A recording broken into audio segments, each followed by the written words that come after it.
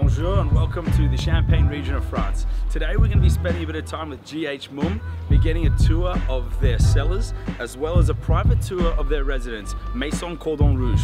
Let's go take some bubbles.